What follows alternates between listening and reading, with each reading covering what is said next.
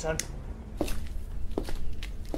Hey, was? Ihr könnt in den Gang dort noch nicht gehen. Wieso nicht? Ich habe dort die Fackeln noch nicht angezündet. Ach, du kümmerst dich um die Fackeln in den ganzen Höhlen. Ey, klasse Job, wirklich. Ja, ist kein schlechter Job, ne? Man kommt ziemlich viel rum in der Welt. Ja, das klingt super, aber ich muss jetzt ganz dringend in den Gang. Da soll legendärer Loot liegen. Tut mir leid, aber ich mache jetzt hier die Fackeln noch an und dann habe ich Pause. Aber du kannst ja morgen wiederkommen. Boah, nee, sorry. Also, so lange kann ich nicht warten. Moment mal, wie kannst du eine brennende Fackel im Inventar haben? Tut das nicht weh? Ach du, da habe ich einige im Inventar. Habe ich in der letzten Höhle aufgesammelt. Och, nicht dein Ernst. Jetzt muss ich ja in die Höhle und die neu anzünden. Glaubst du, ich habe nichts Besseres zu tun? Entschuldigt. Ja, schon gut. Sag mir wenigstens, in welcher Höhle das war. Äh, streng genommen jede, in der ich bisher war. Und das waren viele. Oh, nicht dein Ernst.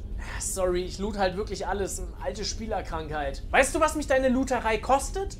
Du, ich weiß es nicht. Ein halbes Gold? Pro Fackel 100 Gold. Äh. Dazu kommt die Unfallversicherung. Was glaubst du, wie oft ich in den Höhlen irgendwo runterfall, weil es ja noch dunkel ist? Ja, also wegen der Fackel. Dann noch die Krankenversicherung, Unterhalt für meine drei Frauen und Alimente für die 17 Kinder. Also, und über die Miete von den Pferden reden wir erst gar nicht. Weißt du, wie teuer Rent a Horse geworden ist?